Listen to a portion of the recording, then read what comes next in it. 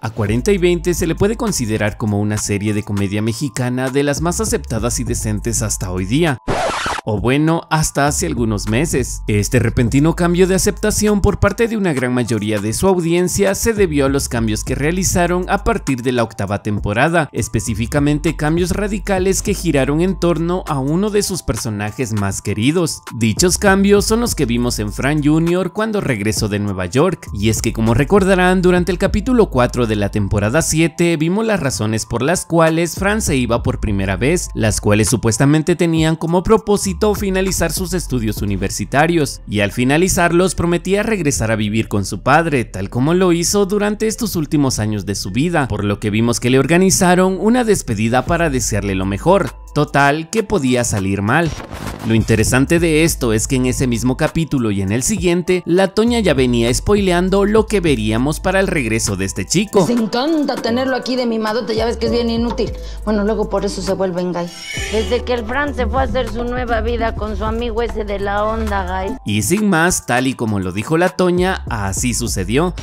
A todo esto, no tengo la menor duda en que una gran mayoría de la audiencia se haya preguntado a qué se debió el cambio tan radical que le dieron a Fran como personaje, y a consecuencia de ello, deducir que la serie a partir de ese punto ya no sería lo mismo. Incluso vimos en el capítulo de su regreso cómo Don Paquis y sus amigos batallaron por entender lo que le estaba pasando a Fran. Lógicamente lo conocían tan bien que se les hacía extraño la apariencia y el comportamiento que traía, por lo que en los siguientes capítulos veríamos literalmente el objetivo que tenía la producción al realizar dicho cambio en este personaje, objetivo que ante todo iba más allá de traer la vida real del actor a la serie, cosa que para nada es negativo, ya que lo más importante era enfatizar la inclusión del movimiento LGBT principalmente en las familias. Lastimosamente lo hicieron de la peor forma posible, con esto me refiero a que no había necesidad de hacer notar los grupos o posturas ante este tipo de situaciones, es decir, cuando vieron la no aceptación de Don Paquis al cambio de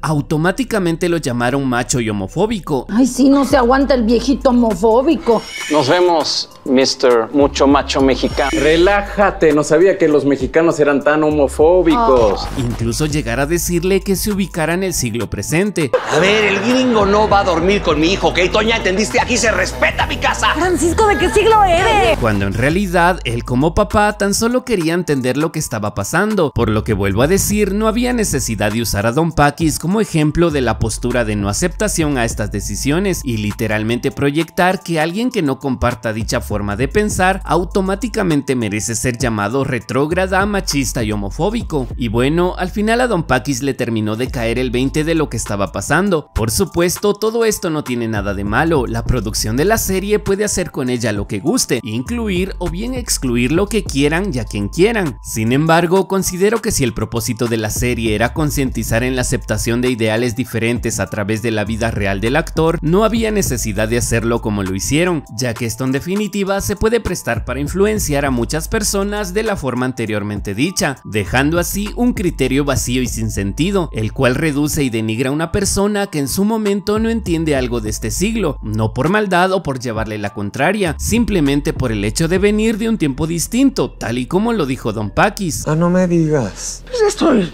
grande, soy de otra época.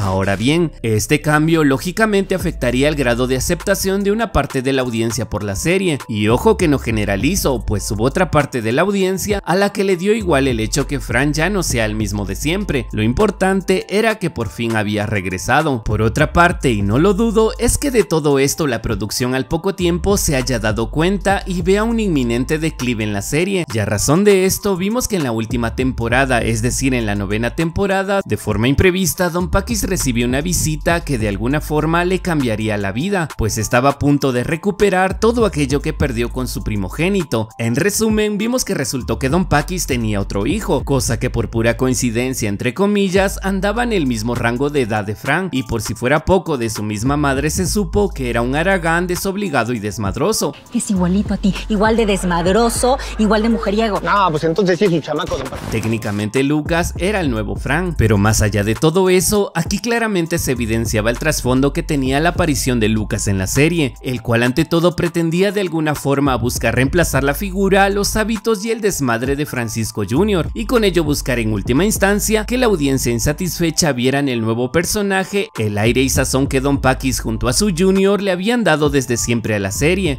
Obviamente la producción tenía que buscarle una solución al espacio dejado por el Fran de antes, y qué mejor opción que darle la oportunidad a un extra de la serie ya conocido, es decir, Bruno Loza, hijo de Gustavo Loza, productor de 40 y 20, para interpretar hoy día a Lucas, el segundo hijo de Don Paquis, que hasta hace poco andaba perdido y del cual Don Paquis no sabía absolutamente nada. Cabe recordar que en un anterior video hablamos de la vez que sin querer Fran y Lucas se conocieron en Acapulco, cosa que pasó en medio de una bronca por la Chio. A esto me refiero cuando digo que anteriormente Bruno Loza ya había figurado como extra en la serie. Regresando al tema, básicamente la aparición de Lucas se puede interpretar como el intento de la producción en darle un reset a la serie y con ello crear la expectativa de que la serie ha vuelto a ser lo mismo de siempre. Más ahora que en el regreso de la serie ambos hermanos comenzarán a conocerse y con ello se podrá ver dos puntos de vista diferentes ante todo lo que ocurre en el universo de 40 y 20. Por último y no menos importante, aclaro que todo lo anteriormente dicho tan solo es una opinión mía basada en lo que sucedió en la serie desde la séptima temporada hasta su reciente novena temporada, por lo que no intento convencer a nadie sobre algún tema en concreto. Al contrario, me gustaría saber qué opinan al respecto, así que no duden en dejar su respectivo comentario, para mí es un gusto enorme poder leerlos. Sin más que agregar queridos cracks, hasta aquí el video de hoy, Espero les haya gustado, lo hayan disfrutado. Un saludo para todos, yo soy Natán, hasta el próximo video.